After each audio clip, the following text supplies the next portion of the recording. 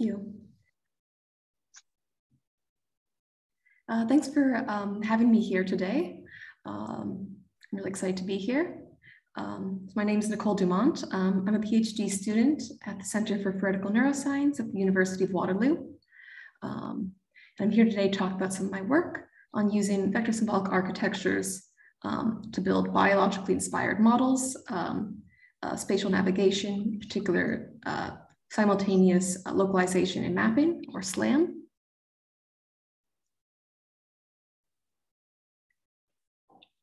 So um, way back in the 1940s, um, Tolman, uh, Dr. Tolman absorbed, observed that rats exploring mazes uh, would discover shortcuts and proposed that they navigated uh, using a cognitive map, some sort of internal representation of the external environment built up um, from lots of local observations.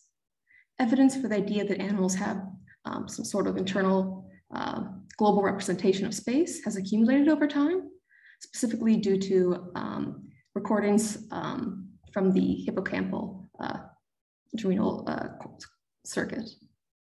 Um, several families of spatially sensitive neurons have been discovered. The first such uh, discovery was that of place cells in the hippocampus, these neurons fire selectively at specific locations in an environment. Um, and other spatially sensitive neurons have been discovered as well. Uh, there are head direction cells that are sensitive to an animal's uh, uh, heading direction that are found in many brain regions.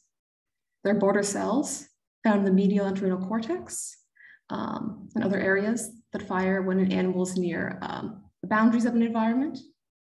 Also in the medial entorhinal cortex are object vector cells, where fire and fields are dependent on distance and direction to objects in an environment. And a particular note are grid cells, um, which activate at hexagonally tiled points um, in an environment.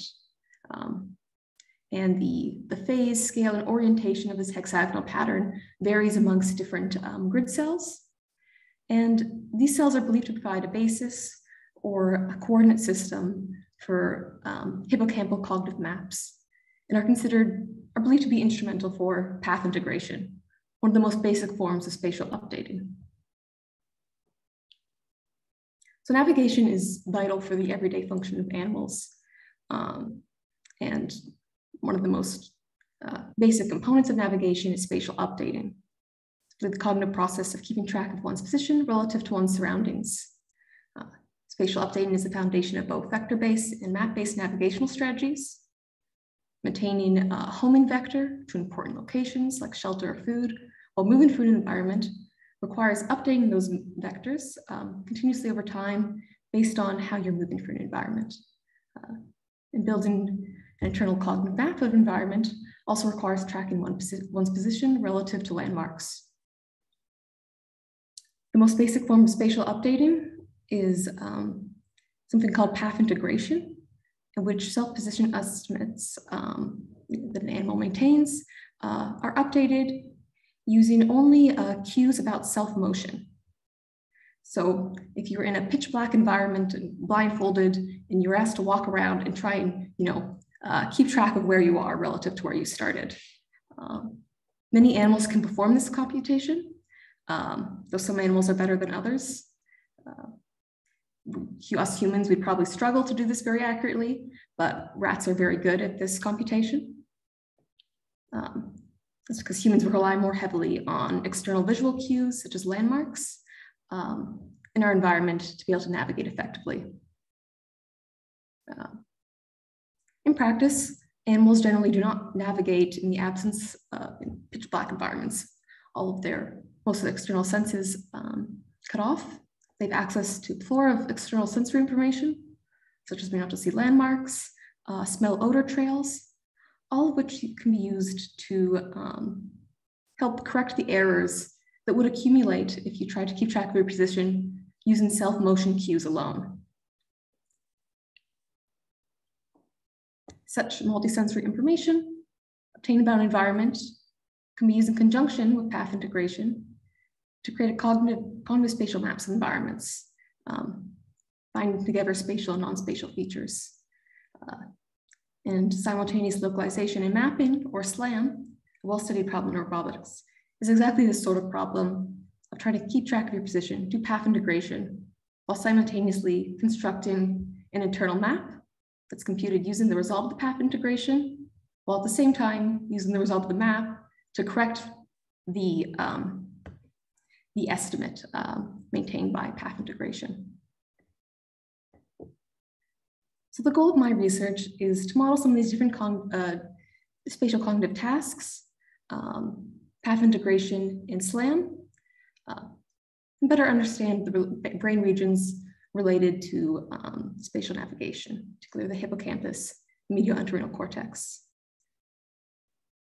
My interest in spatial uh, cognition, uh, and the reason why you should be interested in too, if you aren't already, is for a few reasons.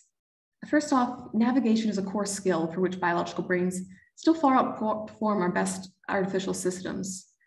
And so understanding the neural mechanisms behind spatial navigation has important applications in AI and robotics, mobile robots and autonomous vehicles need to be able to process spatial information um, and learn how to navigate uh, in the real world all its complexity. And we already know animals can do these sort of tasks every day. They can adapt flex flexibly to environmental changes and transfer their knowledge um, from navigation in one environment to another. Furthermore, understanding spatial cognition, it may not only provide insights um, uh, that could be applied to AI, but also um, provide insights to neuroscience more broadly. There's growing evidence that the same neural mechanisms that underlie spatial representation may also underlie representation of continuous features in general, um, including more abstract and conceptual ones. Um, this picture here that shows these little silhouettes of a bird with different uh, leg and neck lengths. Um, is from some experiment where humans had to keep track of the ratio, those ratios of those lengths. Um, and they found um, um, uh, symmetric firing patterns um, in certain brain regions, um, included perhaps uh, something similar to how grid cells may represent space. It may also be used for representing, you know, something like these variables um, within a visual, these continuous variables of neck length and leg length in, um, in a visual image. And if these mechanisms are more general, then studying spatial cognition is potentially a gateway to understanding um, some of the fundamental algorithms of the brain um, for representing continuous variables uh, and creating um, internal knowledge maps uh, based on this information. While the discovery of the very spatial, spatially sensitive neurons I've discussed uh, provides valuable cues, clues into these neural mechanisms, it alone does not reveal the brain's underlying algorithms, but through computational modeling and attempting to re reverse engineer the brain's algorithms, we can propose, test, and validate candidate al algorithms. Um, I believe something that's key to, um, to this approach is to link high-level symbolic descriptions of representation algorithms to low-level, the low-level neural um, uh, observations of things like grid and place cells.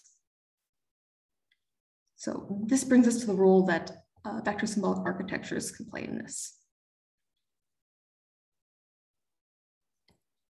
So my work is built upon, uh, is built using the semantic pointer architecture, or SPA, which combines a particular type of um, vector symbolic architecture, VSA, with uh, the neural engineering framework.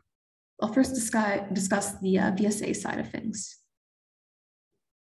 I'm sure all this is going to be basic review for the viewers here, but for the sake of completeness, uh, let's go through some of the uh, ideas and terminologies that I'm using.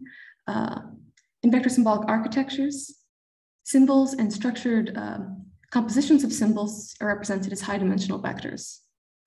Algebraic operations defined over a vector space correspond to operations on these symbols. Typically, these operations include um, some sort of similarity measure, a bundling operation, and a binding, oper a binding operation, and an inverse operation. In SPA, uh, holographic reduced representations are used. In this particular uh, setup, uh, the cosine similarity is used to measure semantic similarity between symbols represented as these vectors. The bundling operation um, is implemented using vector addition. This maps a um, set of vectors, adding them together to a single vector such that the result is similar to all of the inputs um, in the set. The binding operation, um, holographic reduced representations is circular convolution. So this maps pair vectors to a new vector that is dissimilar to both. Um, there's a way of binding symbols together uh, to create a novel symbol. For example, combining um, a slot and filler representation. You could, for instance, bind um, the vector representation of color with the vector representation of, of red, um, represent something that is red in color. And then the inverse operation um, undoes the effect of binding. Um, and setup can be done uh, easily done approximately. While VSAs um, prescribe these operations for manipulating symbols, they do not prescribe how the mapping from symbols to vectors is done, usually. Oftentimes, random vectors of high dimensionality are used um, in the case where you want um, all of your symbols to be distinct from one another. Sometimes machine learning techniques may be used to obtain vector representations. Um, but when working with representations of numbers, there's a natural mapping to use. Say, for example, I want to represent an integer, um, this vector symbolic architecture. I can take a random vector, a random high dimensional vector to represent one, and then I can bind it with itself to represent two, and then bind it with itself again to represent three, and so on and so forth. And this repeated self-binding uh, to represent integers makes counting and addition uh, quite easy. Binding two vectors um, this way corresponds to addition of the underlying uh, numbers they represent. And unbinding corresponds to subtraction.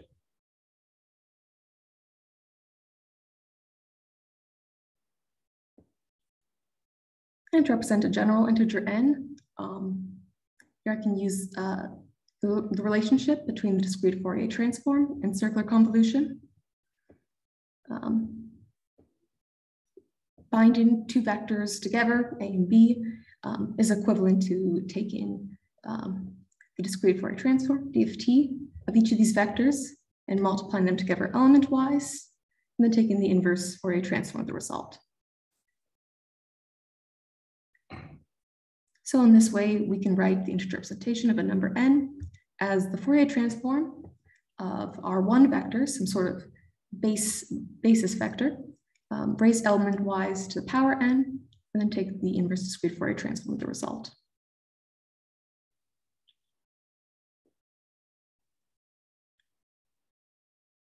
And this naturally extends uh, to representing um, real valued numbers. Simply use a real valued number in place of n here.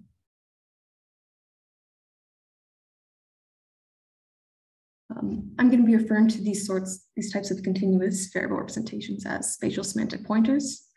Um, but there's um, many terms used in the literature uh, to describe this uh, fractional binding, uh, power encoding.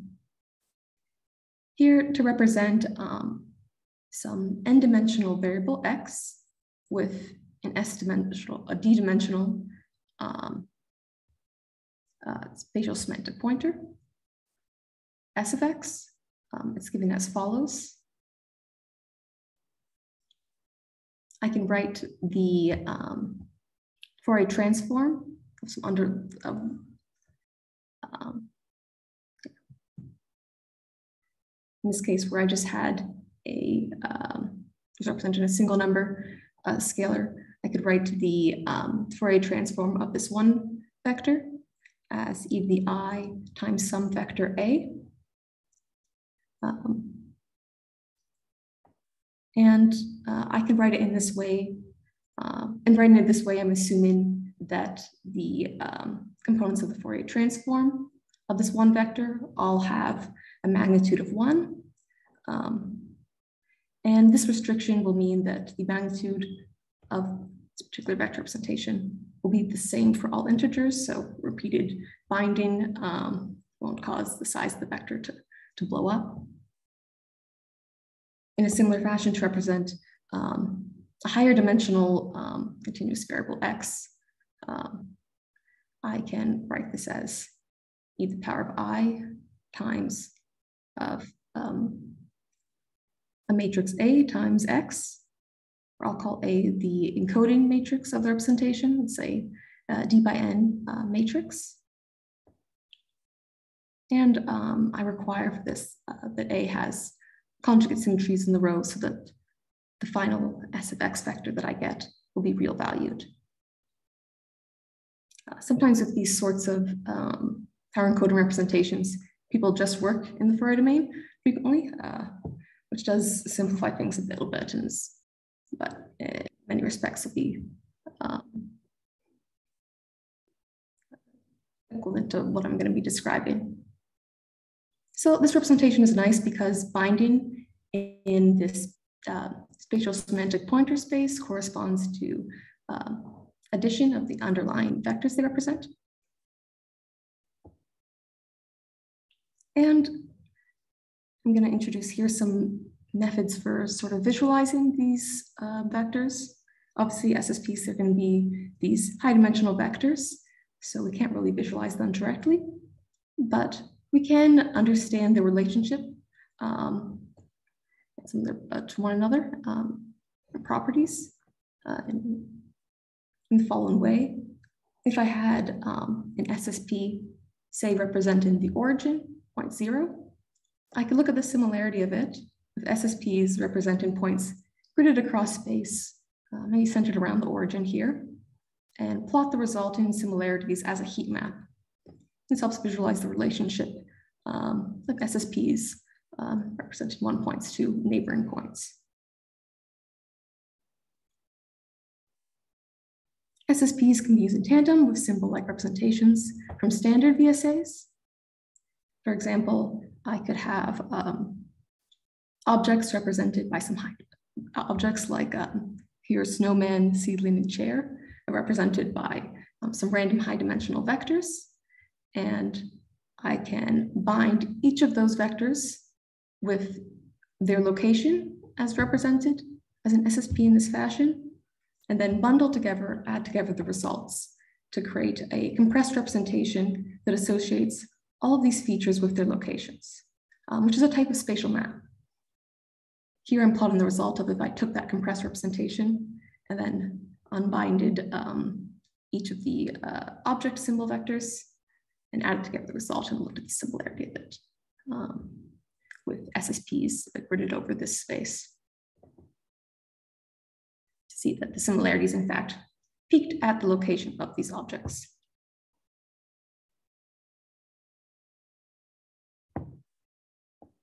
Now to create biologically realistic neural networks that make use of spatial semantic pointers, I require methods for representing vectors um, the activity of spiking neurons um, and methods for performing computations on said vectors via projections between different neural populations. Um, semantic pointer architecture involves not just um, the VSA as described so far, but also tools for modeling um, operations of VSAs uh, with spiking neural networks using the neural engineering framework. Neural engineering framework can be described using a few basic principles. The first principle, representation, explains how the collective neural activity population can encode a vector. For example, if I have an SSP, S representing some point X, um, then uh, the the ith neuron in the population representing it will be given by the following equation, uh, AI of t. This will be um, a spike train. And in this equation, um, our terms uh, alpha i and beta i. Uh, these are just, uh, these are called the gains and biases of the neuron. Uh, these are parameters that are randomly set, um, giving some range um, for different neurons to create a heterogeneous population. and they relate to the neuron's uh, minimum and maximum firing rates, basically. Uh, this vector EI here is what's called the encoder of the neuron. Uh, encoders define what sort of input a particular neuron is sensitive to, hence capturing the receptive field of a neuron. In the case where neurons are part of a population representing SSPs, it might be natural to set encoders to be SSPs that represent random points across space. Uh, this would result in a population whose neurons are sensitive to particular spatial locations, um, i.e. their place cells. However, encoders can also be set to obtain grid cells um, when particular encoding matrices are used. Um, I won't get too much into the details of that. Um, but yeah, so the activity of a given neuron will be the dot product of these encoders with vector that are presenting multiplied by scaling alpha plus this bias beta, and then um, passed through this nonlinear function.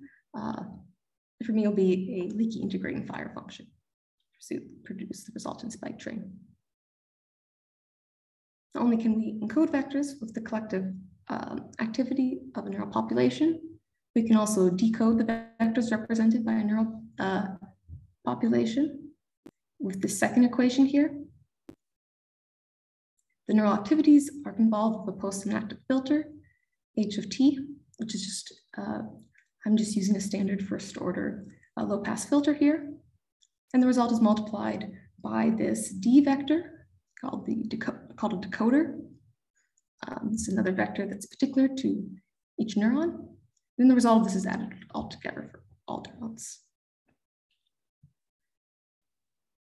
While these, um, while the E vectors that are specific to each neuron encoders, we set, um, uh, we preset these D vectors, the decoders, we solve for uh, using least squares optimization to compute the set that um, best approximately reconstructs um, here my vector S of X from uh, the activities.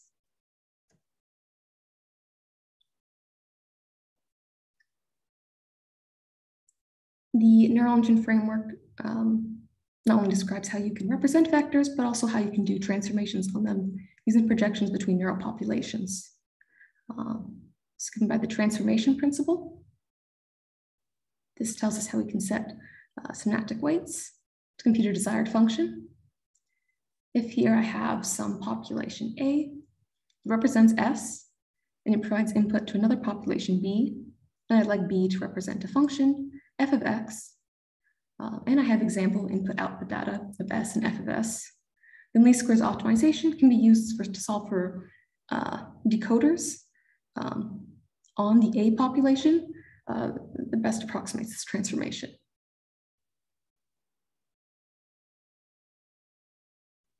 decoding um, using these decoders on the A population um, and um, encoders on this post uh, population is equivalent to just multiplying the filter activities of this first population A for weight matrix and feeding that current into the second population. So this is just a standard neural network. Um, populations connected via weighted synapses. Only here, just uh, the weight matrix is computed based on the decoders of A and the encoders of B. Since we set the encoders, sometimes randomly, sometimes often to match biological tuning curves, curves, for example, to create, obtain place cells or grid cells. Um, this results in particular constraints on the weight matrix, which simplifies the optimization, uh, but potentially at the expense of accuracy.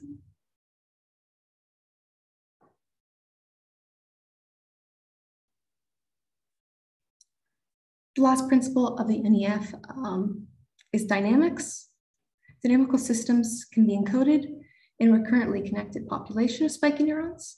Um, and the NEF um, explains uh, how to set um, the weights on this, these recurrent connections um, so that the population implements some particular dynamical system.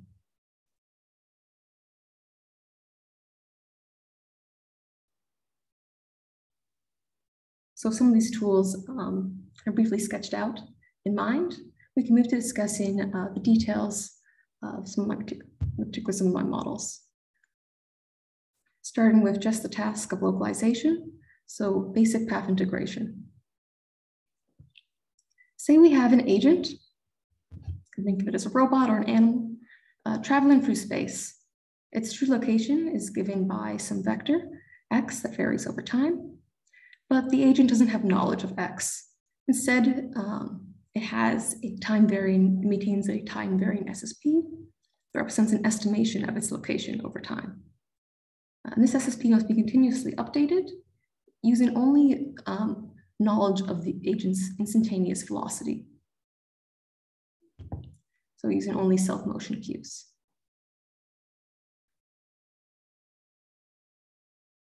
For this computation, we can derive uh, the dynamics of an SSP relate to the velocity the underlying variable it represents. If we compute what the rate of change in SSP is, then it'll be equal to itself bound with um, what I call here the log of an SSP representing uh, the velocity, x dot. What's exactly happening is clear in the frequency domain. In the frequency domain, the dynamics of each component of an SSP are independent of one another. The dynamics of the Jth component of an SSP in the Fourier domain are given by um, the following equation here, which is uh, just the formula for just the equation of a simple harmonic oscillator um, whose frequency omega here is the dot product between the agent's velocity and the jth row of the encoded matrix that defines the SSP representation. So this is an example. Since we have an oscillator here whose frequency is modulated um, in some way by velocity, this is called a velocity controlled oscillator. And structures like this um, appeared in many past models of path integration um, that were created without any use of VSAs. The connection between this popular class of path integration models and the dynamics of um, continuous VSA representations was an unexpected but uh, pleasant surprise. We can visualize um, a bit more what's happening to an SSP um, as the variables representing X um, changes over time.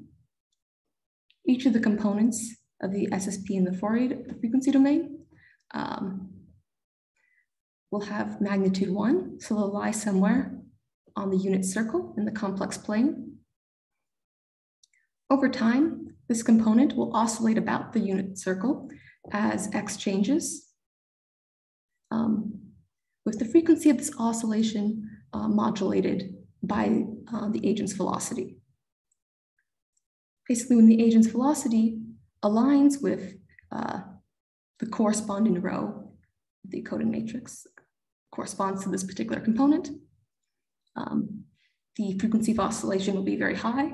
And when the frequency is perpendicular to this row vector in the encoded matrix, the frequency will be zero. And this component will stand still in the complex plane. Basically, each component of the SSP in the Fourier domain is integrated motion in a particular direction that is sensitive to. And the encoded matrix defines all the directions of this motion, of this integration. So we could implement this um, using a spiky neural network, the tools of the NEF, but we would run into some problems.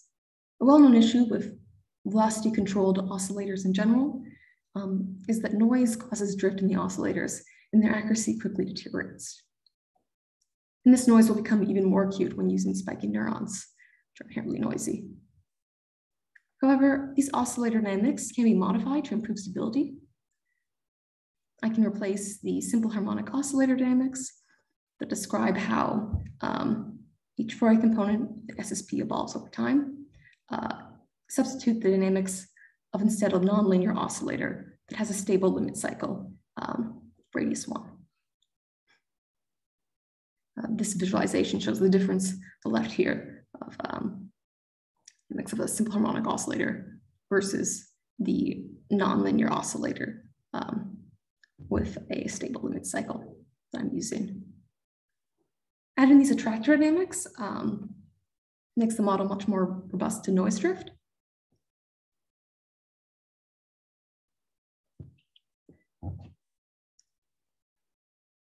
So using these, um, using these pieces, we can create a spiking neural network that actually implements these dynamics. A population of speed and head direction cells will represent the velocity um, of the agent. And this is the um, only input we receive. This is projected onto a set of neural populations. Each neural population will represent um, one of the components of the SSP in the frequency domain. So it's representing its real and imaginary part, along with the frequency at which it's oscillating. I'll call these um, VCO or velocity controlled oscillator populations. Um, we only need um, the floor of d over two such populations, since the conjugate symmetry of the encoded matrix makes the additional Fourier terms redundant. Each of these oscillator populations will be recurrently connected to itself um, with weights set to approximate the um, attractor oscillator dynamics using the tools of the neural engineering framework. The collective activity of all populations can be used to compute um, full result in SSP um, since a point x that is changing over time.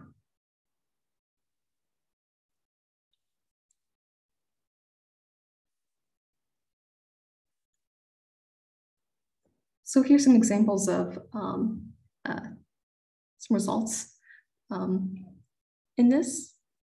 Here I have these two pictures on the left column of this dotted black line. This is some true path that the agent's following. Um, and this path integration model, it only receives information about the initial point um, that the agent is in and then velocity information over time. And it has to, with these oscillator populations, maintain an estimate of the SSP of its location, um, uh, given this velocity input.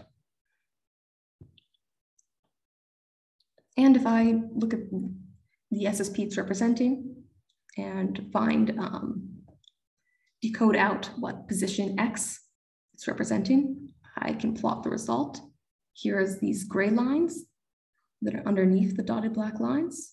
So they show how good the model's estimate of its location is compared to its true location over time. Also in these plots, I have these red dots. So these are some examples of um, some of the spiking activity recorded from different neurons in these um, oscillator populations during the path integration task. One thing you may notice is that the neurons here have these uh, clear banded stripe patterns.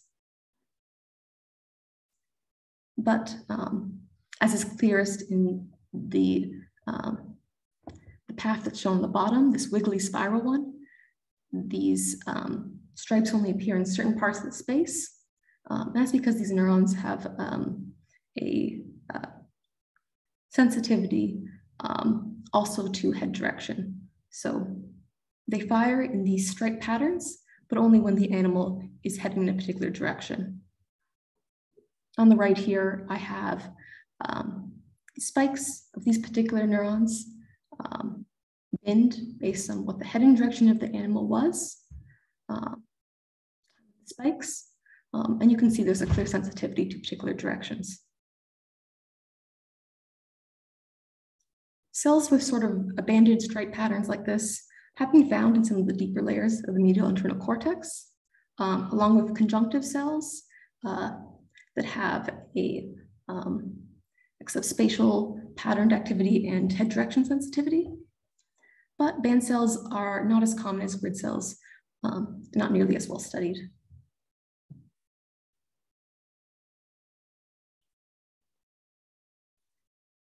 Here's some other examples of um, the output contained from this path integration model. Here, it's tested on a minute long path that's randomly generated from frequency bounded white noise signals.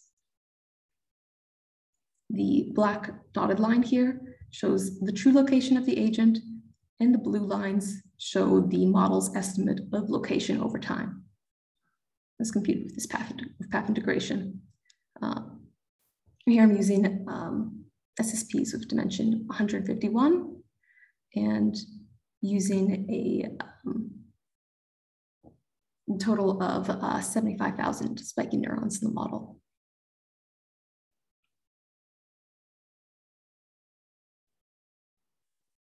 And um, it can be do path integration on both 2D and 3D paths, as shown in these examples.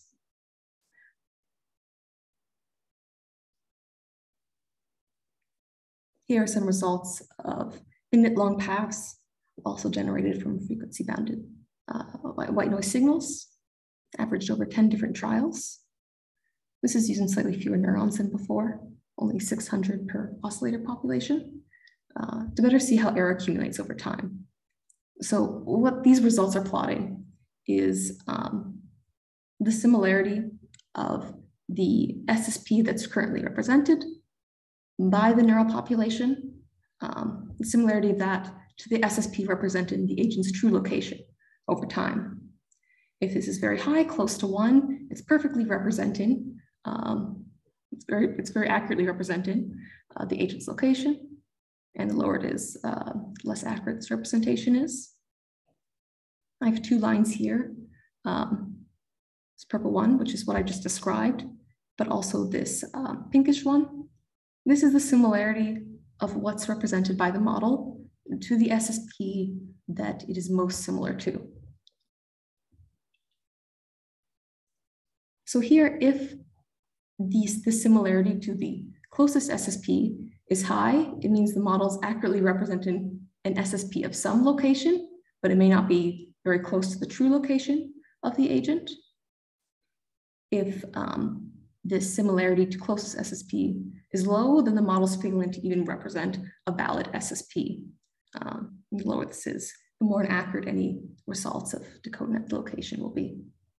So we can see that um, this model at first is maintaining a good representation of an SSP that is close to the true location um, in the first few seconds, and slowly both these values decay over time. Um, the decay of the similarity to the exact SSP uh, going lower. On the right here, I'm plotting the distance between the model's estimate of its location compared to its true location, the agent's true location, which is low, but uh, increases quite high after here around 40 seconds. Um, a path integration model, since um, you're only integrating using velocities and not given any corrections, errors can only accumulate over time. It's only a matter of how fast. Um, here are the same results, same sort of things I just as described, but um, for integration over three-dimensional paths. Can see that the similarity uh, decays more rapidly.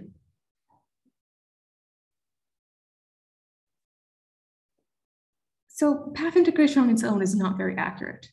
Uh, there's no mechanism to correct the errors that accumulate, um, but with additional information from the environment, sensory cues, landmarks, etc., spatial updating can be done with great accuracy. So this brings us um, to a model of simultaneous localization and mapping uh, using VSAs. So now the problem is, while transverse an environment, the agent has some true location that is unknown to it. All it knows is its self-motion, its velocity over time. But unlike before now, the agent can also observe um, landmarks um, within some radius of itself.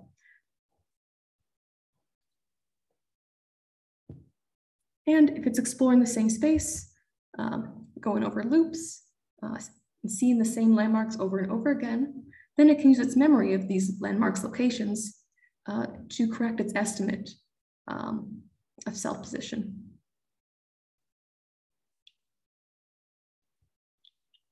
Here's a high level overview of how this um, called SSP SLAM model um, works. Let's go through chunk by chunk. So first, we have the path integrator, as we've already described. This implements dynamics of um, these representations of continuous variables, um, SSPs, using velocity input.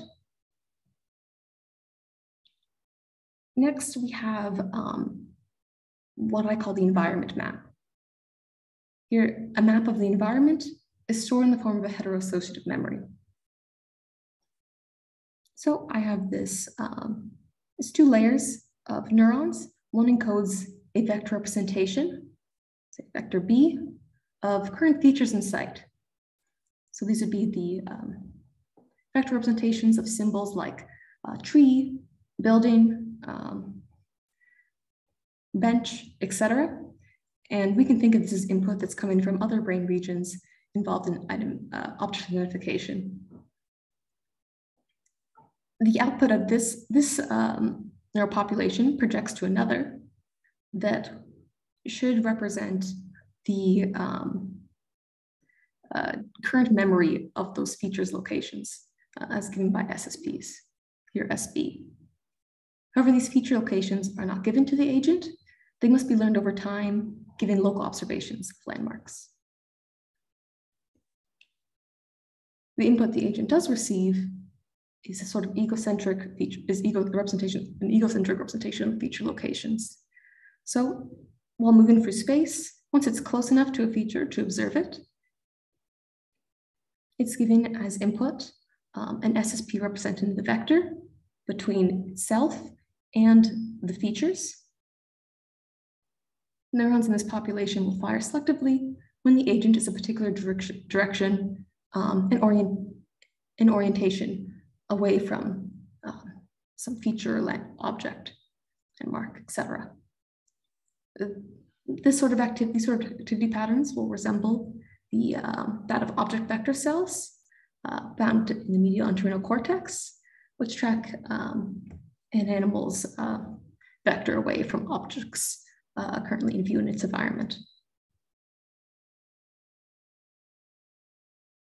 So using um, the output of the path integrator, a representation of self position, and then what I previously described, representation of a vector to nearby objects. Since binding in the SSP space corresponds to addition in the underlying vector space, those two outputs can be bound together to create a estimate of the features locations um, in the environment as a whole globally.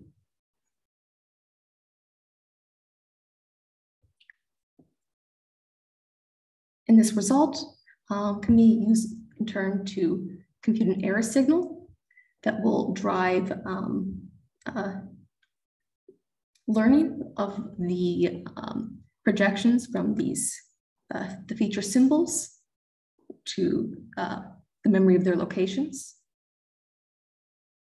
uh, using um, what's called uh, prescribed error sensitivity learning rule, which I'm not going into detail on here, but um, a type of uh,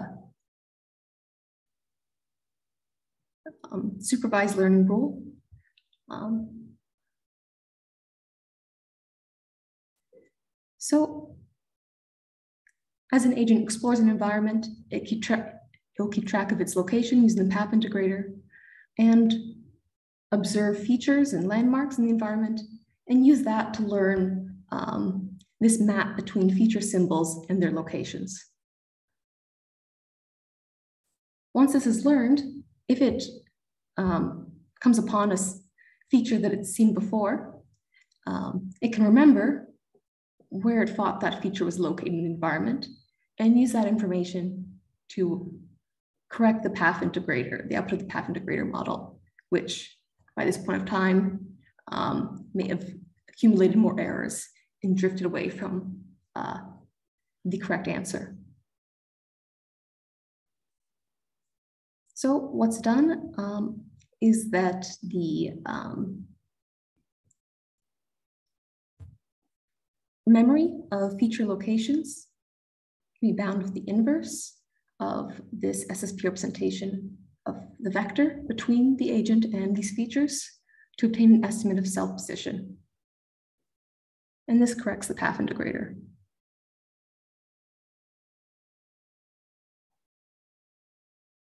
Here's some example results. So here I have on the left, this loop, this agent is going around this black line. This is its true path it's following. And these little symbols of like candy cane and door and such are um, objects at point locations that it observes along the path. And it's going to go along um, this path in a loop um, four times. After going along the loop once or twice, um, it should learn the location of these features and then be able to use that to correct um, its the model's estimate of its location over time, uh, the output of the path integrator model. And with these lines here, I have um, the results of using just the path integrator model, not any of the SLAM stuff, not using any knowledge of these, um, these features or landmarks. Uh, this is given by the green and orange lines. Um, you can see that it maintains, a, it has a very accurate estimate of location early on that slowly decays over time, as we described, um, seen previously. Well, in uh, purple and uh, pink here, I have the results of using this full SLAM system. Um, and the similarity of the estimate location when um, object locations are used um, to provide corrections is higher um, as time goes on than the path integrator model. In this case, it's only a little bit higher. So it's only doing a little bit better um, than without the help of these feature locations. And here I have another example of, in this case, um, traveling along a slightly more complicated loop-de-loop in an environment, given by this orange line. And as it travels along this path, it observes these symbols, this red triangle, um, green star, uh, blue square, etc. at some random points. Then it observes um, some walls, these black bars, these lines here. On the right is the output of uh, the model's um, estimate of self-position over time. And then it goes over this loop four times. And you can see that there's some of these blue lines that follow the real path.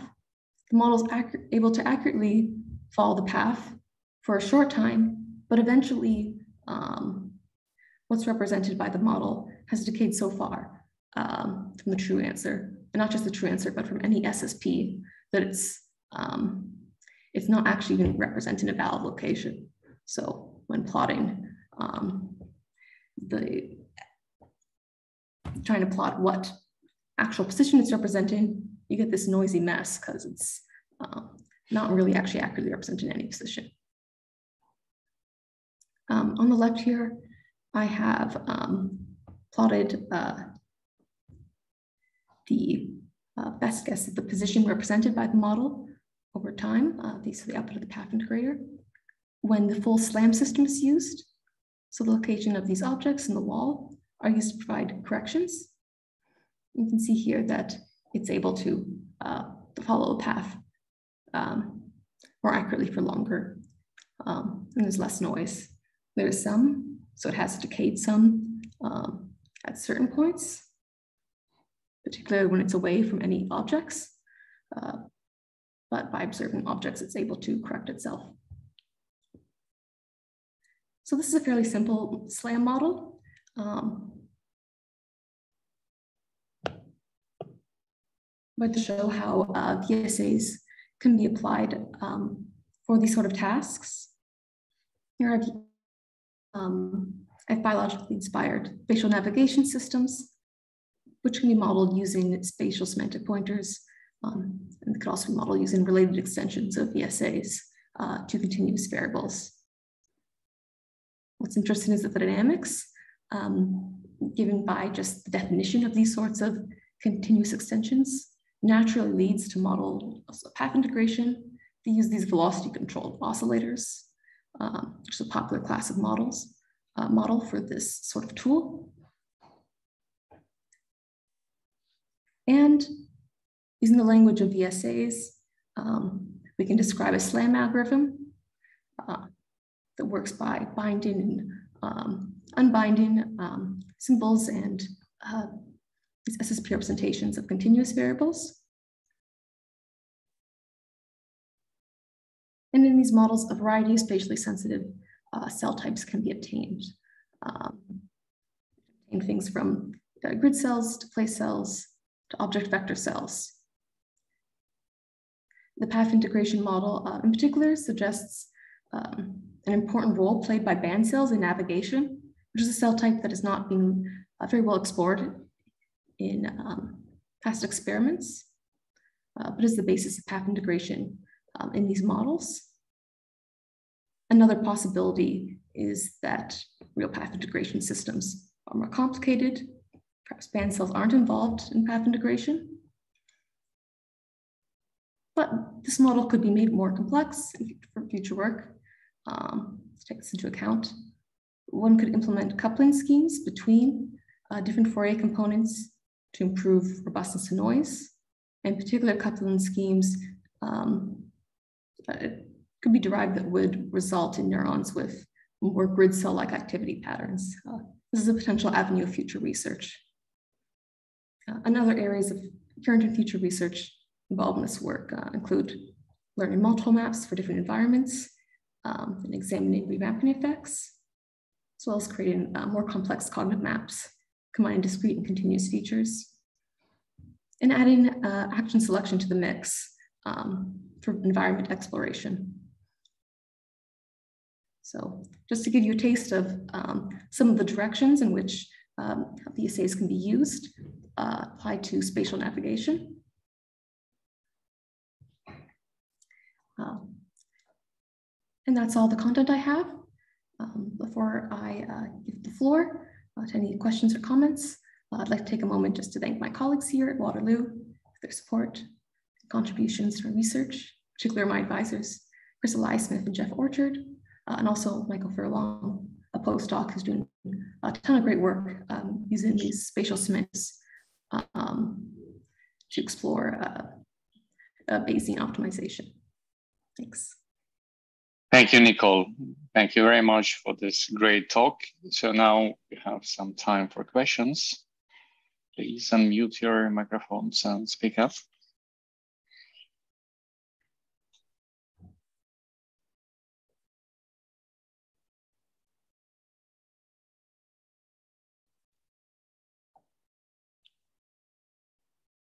Maybe I can I can start with a simple question, but I, I bet you uh, somehow covered it in your future uh, research directions. So I'm I'm thinking about application of of the method that you have pre presented in more practical scenarios like uh, SLAM for robotics in complex environments. So uh, how far are we from this method being used practically used in this realistic settings. Mm-hmm. so yeah it's um, there's a bit of gap between this and actual uses in practice in robotics. Um, namely some of the missing components are you need systems to do object um, recognition using raw sensory data to be able to get the symbols of different objects. Um, and um, obtaining things like vectors to features um, in your environment using sensory readings, that's pretty straightforward. But it's mostly the object rec recognition side that um, is where it's lacking currently. Uh, and, and then I'm also thinking, oh, again, correct me if I'm drifting in totally different direction, but for example, a map uh, or uh, learned in this way by an agent, uh, uh how uh, how much transferable it is to to another agent, so to say. I mean, how this map can be shared as an experience to another agent, so that uh, it can navigate he or she or it can na navigate in this in the same environment. Hmm. Yes, that's an interesting question. Um, I, so, I, I, mean, so we, we had a, we had a talk on SLAM and like, like classical SLAM, so no, uh, non-neural SLAM, uh, even in this uh, winter session, and uh, their SLAM is um, more or less uh, boils down to finding uh, most similar scene. I mean, the description of sin, and and th this in a way, I mean, it's kind of transferable. So you you just put the database with images to, to another agent and uh, that's more or less it. But uh, but i mean here you kind of learn you you you you create the the path. I mean as a as an ex so it's a kind of personal per personal experience of an agent. So how much is it transferable in this way? Um so even if you're going to an agent was a different new agent going along a different path um, the first agent it does learn global loca um, locations of features globally. Um, so those would still be applicable to a new agent as long as they still have the same origin or reference frame that the SSPs were described in. Um, so um, um,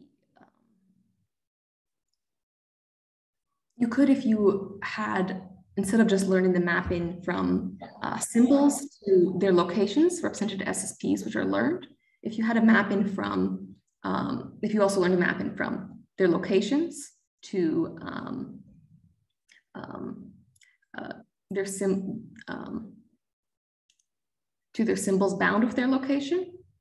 I don't want to say which you could learn in a similar, I believe you could also learn that. Um, you could then after an agent's explored the environment and it's learned that mapping, if you now pass it in an SSP that represents the space as a whole, um, then you could obtain from that basically a, a list of all of the objects in the space represented as symbols, vectors, bound with their locations. Um, so that would be sort of a complete map, which could then be given to another agent as long as it has sort of the same origin for the SSPs same reference frame. Okay, mm, thank you. So more questions?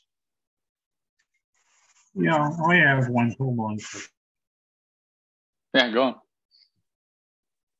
Well, you muted yourself.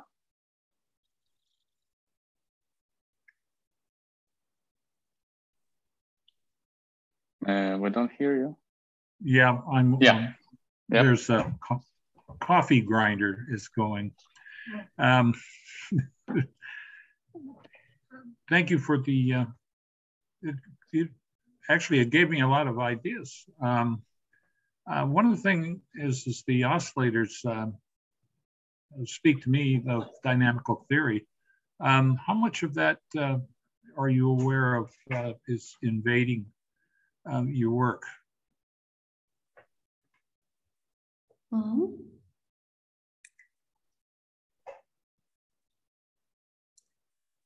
Uh, I'm not quite sure what you mean. Um, I do, I've used um, the results of dynamical theory to be able to construct, you know, the nonlinear oscillator dynamics that I've used here to have that stable limit cycle, uh, just to improve robustness.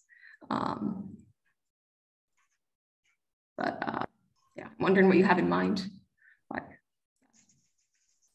um, it's foggy notions at this point in time. But uh, what you're um, actually uh, showing there um, has a lot of applications. It works out uh, way beyond, I guess, uh, animal behavior. And it has a lot of object behavior of, of let's say, cruise missile looking for something on an ocean, et cetera, those types of, of, of uh, applications. And um, the, the real problem is, is you get into the application of the, of the actual um, mathematics, if you will, and um, you get kind of, well, I could do this, I could do that, I could, well, you can see that you have a, you have an exponential explosion, basically.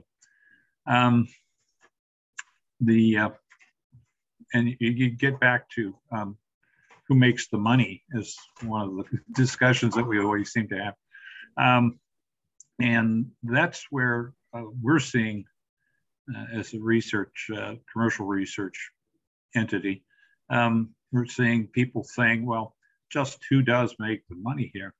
Um, and it uh, leads to some very uh, significant um, parts of the mathematics, if you will. And what we're seeing is, is the similarity is one, and the other is, is um, how um, the dynamics of the system work along with, uh, say, VSA hyperdimensional computing.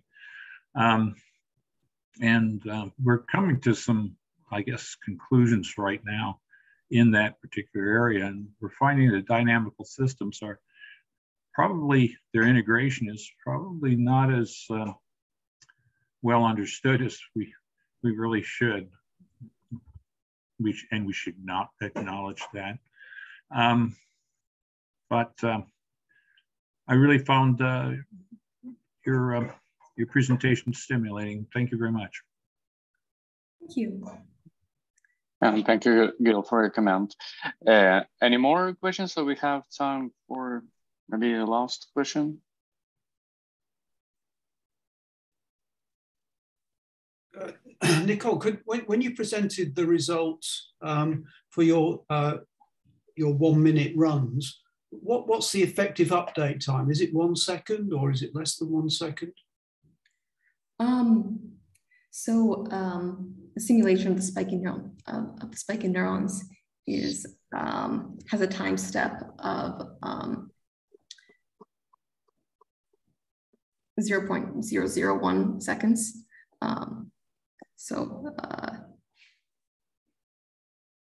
so, but you, so are you conti continuous? How are you how are you representing the, the instantaneous velocity? How, how's is that how's, how's that being translated as an input vector to the to the neural network circuit? Really, is what I'm asking. Okay. Um, yeah. So the I compute the instantaneous velocity um, using finite differences in the path, um, the time scale of, of that the simulation runs on. Um, and it does just receive um, the velocities rather than them represented as an SSP, um, which could be something uh, done differently that'd be interesting. Um, what's really most important is that the model though receives um, these velocities weighted by this encoded matrix um, to obtain the frequencies. okay. And, uh, so uh, what, what I was trying to to get at is that essentially you're creating a bundled vector as the memory. And we know with, um, we, we know what the sort of capacity, bundling capacity is for HRR and other VSA schemes. I'm just wondering if you've got any thoughts about the length of the memory as a, as a function of the bundling capacity uh, of these vectors. That would be, yeah, that'd be an interesting um, question to explore is what's known about the representational capacity. Um, yeah, because I mean, the, I'll, I'll, I'll, send you I'll, I'll send you a, a, link to a paper, um, not not by me but by others, uh, looking at the bundling capacity for, for different VSA schemes. It would be very interesting to know if where you where you suddenly lose the sensitivity is a mm-hmm. consequence mm -hmm. of the bundling capacity of the essentially the vector that you're is, you're memorizing. Yeah, for sure. Okay, um, thanks. Yeah. Mm, thank you, Graham. Well, uh, last chance to ask Nicole a question. Well, if um, there are no more questions, I would like to um, uh, steal a second of your attention before I let you go for a summer vacation. So I want uh, I want to show our beautiful web page, and uh, as I have already said in the beginning, so we with this talk, this uh, excellent talk, we have completed four uh, the fourth season uh, of the webinars, which is great. And I have already created a template, so a placeholder for uh, for the fall session of VSA Online. So, um, well, now it's pretty empty. So as I said, so I just managed to uh, create a, templ a, template, but I can assure you that I have already a number of confirmed interesting talks. So stay tuned and have a great summer. So thank you all for being with us uh, this uh, season. So that's it uh, for me. And thank you, Nicole, for this great talk.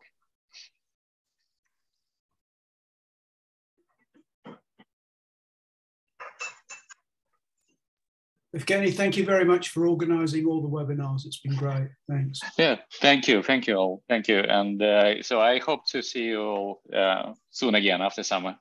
Yeah, thank you. Yeah, yeah. Bye.